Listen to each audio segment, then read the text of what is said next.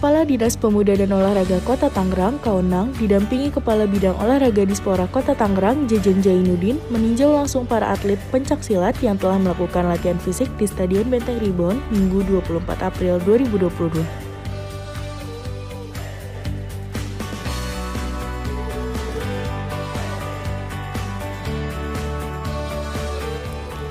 Kepala Dispora berharap para atlet pencaksilat Kota Tangerang mampu mempertahankan mahkota juara umum di gelanggang Porprov 6 Banten 2022.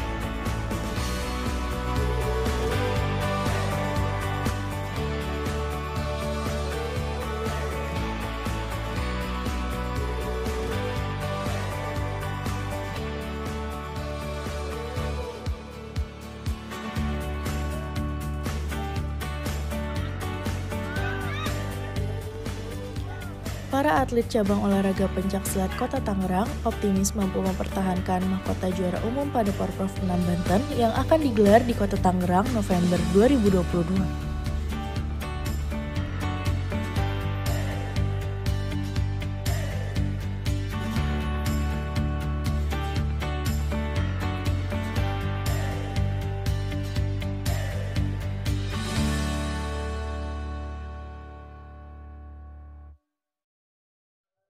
Ya, selamat sore sahabat Dispora. Hari ini kami ditemani uh, pengurus uh, cabur silat IPSI uh, memonitor atlet-atlet kita untuk latihan fisik di lapangan benteng.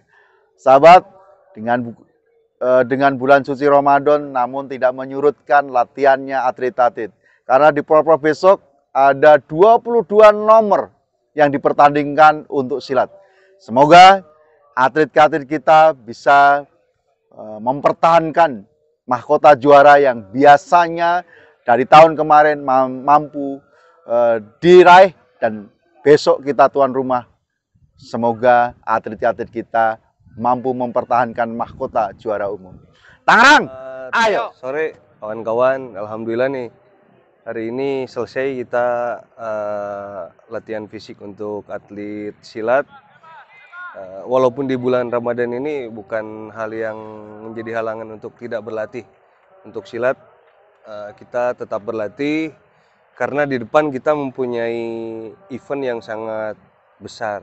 Event porprov eh, dan kami di sini IPSI mempunyai harapan dan target juara umum menjadi yang terbaik di Provinsi Banten untuk Kota Tangerang. Terima kasih latihan fisik sudah sampai sejauh mana? Sekarang udah masuk tahap persiapan khusus. Jadi eh, karakter latihan fisiknya sudah sudah mengikuti eh, kecabangan. Jadi nanti eh, lebih banyak daya ledak, terus speed eh, untuk yang tanding itu. Terus endurance juga sama begitupun yang TGR juga seperti itu. Ini ada secara keseluruhan atau tadi memang ada TGR, ada fighter. Untuk TGR kita bisa untuk sekarang ini sudah 80%. Tinggal eh, menambahkan lagi di endurance-nya lagi di persiapan umumnya.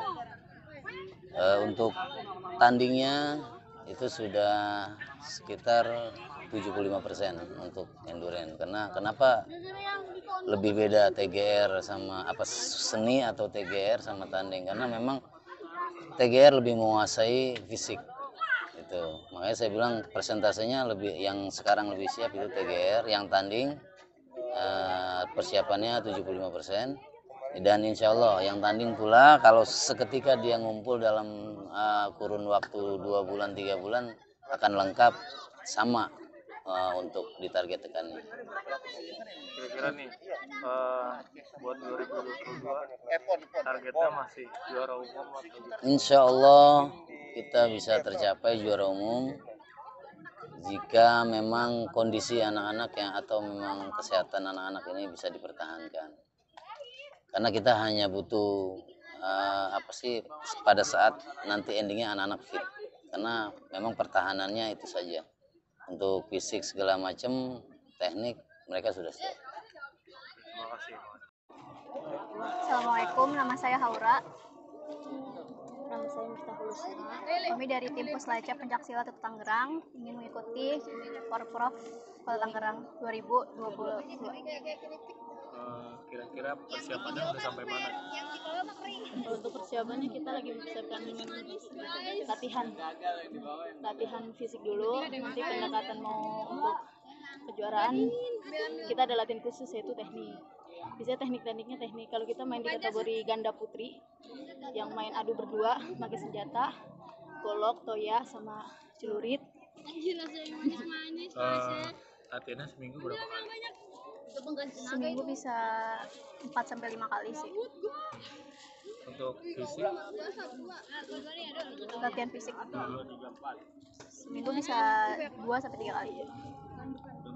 target sendiri nih nanti di Porprov targetnya Bismillah yakin emas